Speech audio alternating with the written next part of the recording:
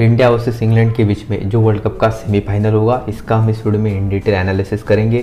स्वागत है आपका परफेक्ट लाइनअप एप्लीकेशन पे। यहाँ पे आप हर एक पेंटेसी मैच का पूरा एनालिसिस कर सकते हैं। देखो, इंडिया वर्सेस इंग्लैंड, यहाँ पर दोनों की दोनों मज़बूत टीमें हैं तो इस मैच की जो टीम बनेगी, वो बैलेंस बनेगी। और ये जो फाइनल टीम है, ये आपको मिलेगी परफेक्ट लाइनअप एप्लीकेशन पे, जिसका लिंक आपको डिस्क्रिप्शन और कमेंट सेक्शन दोनों जगह पे मिलेगा। तो चलिए हम इस एनालिसिस को स्टार्ट करते हैं। वीडियो को लाइक करके स्टार्ट करना। चैनल पे अगर आप पहली बार आए तो चैनल को आपको सब्सक्राइब ज़रूर कर देना है। तो देखिए मैच होगा कहाँ पे? तो हम इस मैच की वेन्यू एंड पिच रिपोर्ट पे चलते हैं।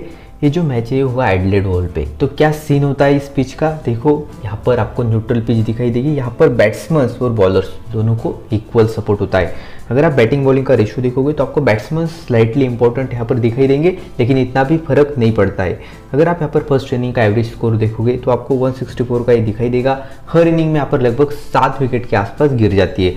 अगर आप पेसर्स और स्पिनर्स का रेशियो देखोगे तो पेसर्स यहाँ पर थोड़े से इंपॉर्टेंट होते पेसर्स के ऊपर आपको फोकस बनाए रखना है।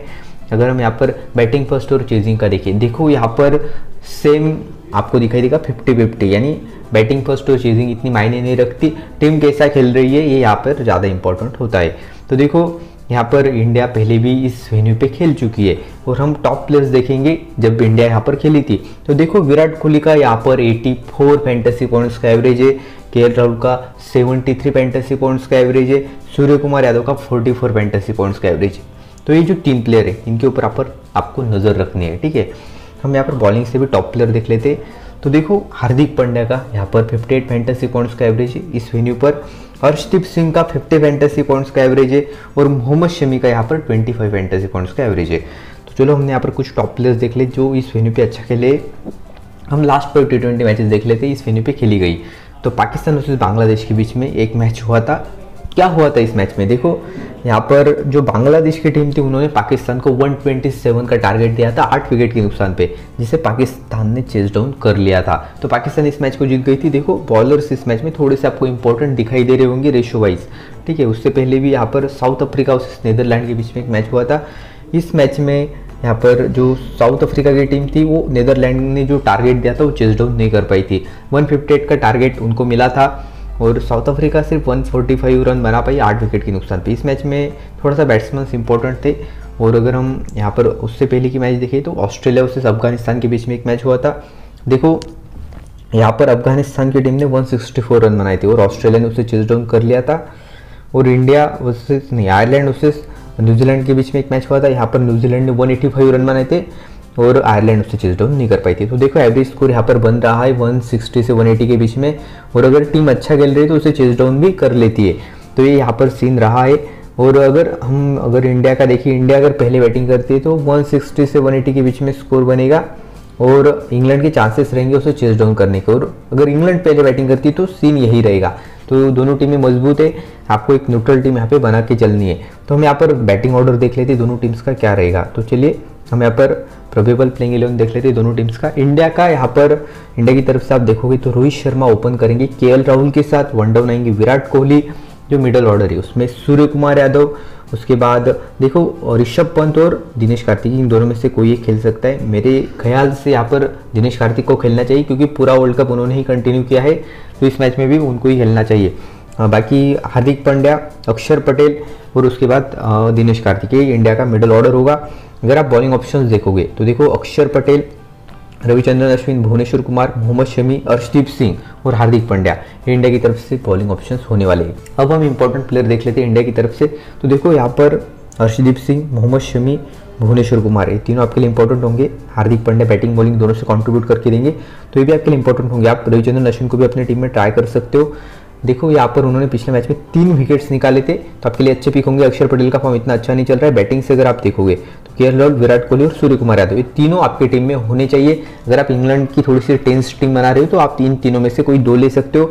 रोहित शर्मा का रिसेंट फॉर्म इतना अच्छा नहीं है, लेकिन बड़े मैच के प्लेयर है, किसी भी मैच में बड़ा स्कोर कर सकते हैं, और अगर ये खेल गए तो यहाँ पर आपको एक तरफा जिताएँगी भी, नहीं तो हरा भी सकते।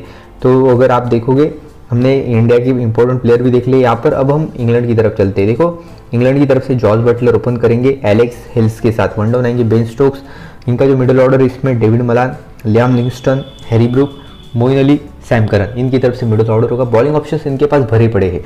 इसमें बेन स्टोक्स उसके बाद Liam Livingstone Moeen Ali Sam Curran Chris soaps उसके बाद आप और नीचे चलो तो यहाँ पर आदिल रशीद और मार्कवुड ये इनकी तरफ़ से बॉलिंग ऑप्शंस होने वाले। इंपॉर्टेंट बॉलर देख लेते हैं हम। देखो मार्कवुड यहाँ पर इंपॉर्टेंट रहेंगे।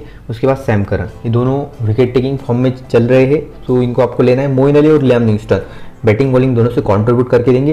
अगर आप दोनों में से किसी एक को लेना चाहते हो तो लियाम लिंगस्टन का फॉर्म अच्छा चल रहा है। अगर आप बैटिंग सेक्शन देखोगे तो बैटिंग में George Butler Alex Hales Ben Stokes तीनों इंपॉर्टेंट रहेंगे आपके लिए। देखो एलेक्स सेल्स का फॉर्म अच्छा है, दोनों मैचेस इन्होंने परफॉर्म किया। लेकिन टीम्स इतनी खास नहीं थी। इंडिया के सामने कैसा करेंगे, ये देखना पड़ेगा। जॉर्ज बटलर जॉर्ज बटलर आपके लिए मस्टर पिक होंगे और बेन स्टोक्स को आप छोड़ नहीं सकते क्योंकि आपको दोनों तरफ़ से कंट्रीब्यूट करके देने वाले अब हम यहाँ पर डेथ बॉलिंग देख लेते हैं दोनों टीम्स की तरफ़ से। इंडिया की तरफ़ से मोहम्मद शमी और अर्शदीप सिंह डेथ में बॉलिंग कराएँगे। और अगर आप यहाँ पर इंग्लैंड की तरफ़ से देखोगे तो सैम करन और मार्क वुड के चांसेस रहेंगे। क्रिस ओक्स भी यहाँ पर डेथ में बॉलिंग करा सकते हैं। अब हम यहाँ पर स्मॉल लीग की टीम देख लेते हैं अपनी। तो देखो यहाँ पर जो हम टीम बनाएँगे, वो यहाँ पर पूरा एनालिसिस हमने पहले भी किया हुआ है और उस बेसिस पे हम टीम बनाएँगे। देखो, यहाँ पर जो विकेट कीपिंग सेक्शन है, इसमें जॉर्ज बटलर हमारे टीम में रहेंगे दिनेश कार्तिक या ऋषभ पंत, इन दोनों को आप ग्रैंड लीग में ट्राई करना। खास करके ऋषभ पंत अगर खेलते तो उनका रिसेंट फॉर्म आपको इतना अच्छा नहीं दिखाई देगा। बैटिंग से देखोगे आप तो विराट कोहली आपके टीम में होने चाहिए केएल राहुल को हम अपनी टीम में ले रहे सूर्य कुमार यादव को हम छोड़ नहीं सकते। और यहाँ पर आप चाहे चाहे तो एलेक्स हेल्स को ले सकते हो। हिट और मिस टाइप बल्लेबाज है और कमज़ोर टीमों के सामने इन्होंने स्कोर बनाए तो मैं इनको अपनी टीम में अभी शामिल नहीं कर रहा हूँ। ऑलराउंडर सेक्शन में चलते यहाँ पर सैम करन बेन स्टोक्स उसके बाद यहाँ पर नीचे लियाम लिविंगस्टन और हार्दिक पांड्या। चार ऑप्शन है। आपके पास हमने चारों को लिया है। बॉलिंग से देखोगे आप तो बॉलिंग से हमने यहाँ पर मोहम्मद शमी, उसके बाद यहाँ पर अर्शदीप सिंह और उसके साथ साथ हम यहाँ पर मार्क वुड के साथ जा रहे हैं इंग्लैंड की तरफ़ से। तो देखो, यहाँ पर हमने ये जो पूरी टीम बनाई है, ये हेड टू हेड रिकॉर्ड उसके बाद वेन्यू रिकॉर्ड और जो रिसेंट परफॉर्मेंस है, उसको देखकर ही बनाइए ये अभी के लिए स्मॉल लीग की टीम है, लेकिन फाइनल टीम नहीं रहेगी। हम इस टीम को पहले सेव कर लेते। तो देखो, ये टीम आपको दिख रही होगी।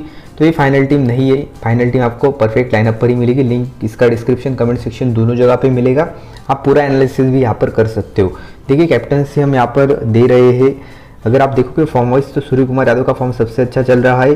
के राहुल ने भी लास्ट दोनों मैचेस में अच्छा किया है। हार्दिक पांड्या आपको बैटिंग बॉलिंग दोनों से कंट्रीब्यूट करके देंगे। बेन स्टोक्स का भी वही हाल है। अगर आप सेफ़ जाना चाहते हो तो बेन स्टोक्स हार्दिक पांड्या आपके लिए बेस्ट ऑप्शन है। सूर्य कुमार यादव पे भरोसा जता रहे हो।